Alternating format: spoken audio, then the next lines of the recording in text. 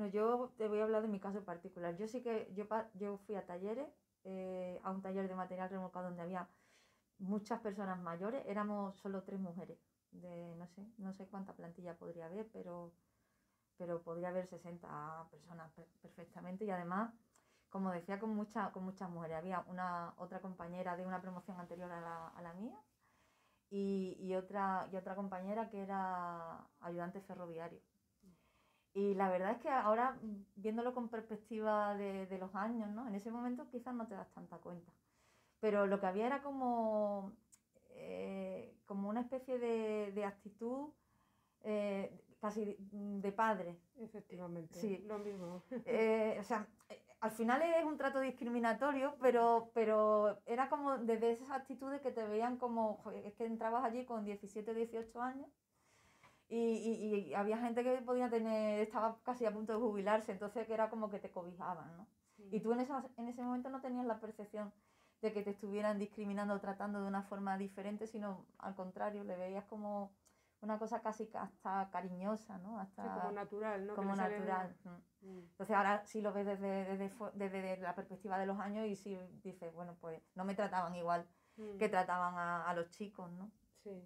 Pero en ese momento no lo tenía, no tenía esa percepción. Yo nunca tuve la percepción de que me trataran, me discriminaran en sentido negativo. Sí. Bueno, yo en mi caso es diferente porque yo no fui a talleres, yo en la última promoción, aunque en principio habíamos aprobado para ir a talleres, pero hubo una reconversión de categorías y en mi caso eh, todos los de mi CAF eh, fueron para hacer telecomunicaciones o instalaciones de seguridad eléctricas. En mi caso, era este segundo caso, llego, salimos de la escuela como montador eléctrico de instalaciones de seguridad en mantenimiento de infraestructura. Entonces nosotros éramos un equipo pequeño que había en la estación que llevábamos el mantenimiento de las señales, de los pasos a nivel eléctricos y de los motores de aguja que había en un tramo de vía. En mi caso, como estaba en Valladolid, pues era desde Venta de Baños hasta Medina del Campo. Y bueno, pues éramos una brigada, estábamos a turnos. Y bueno, yo entré tan joven, yo empecé allí cuando aterricé en aquel taller, tenía 17 años. Eh, no podía hacer turno de noche porque no era mayor de edad. O sea, eh, y, y, bueno, pues era un taller, yo siempre lo, lo, cuento como risa, ¿no? Porque era un taller muy antiguo, yo siempre digo que era como lo montó la Compañía del Norte en el siglo XIX, así permanecía cuando yo entré en el año 86. Era un, una estancia grande donde estaban mezclada la maquinaria que teníamos, que eran pues los taladros, los, la, la, maquinaria que había en los bancos de herramientas con las taquillas de vestuario que había. No había, por supuesto, vestuario de chicas, no había, eh, no había aseo de mujeres tampoco, pero no lo hubo durante mucho tiempo. Hasta pasados cinco años no tuvimos vestuario de chicas ni, ni aseos.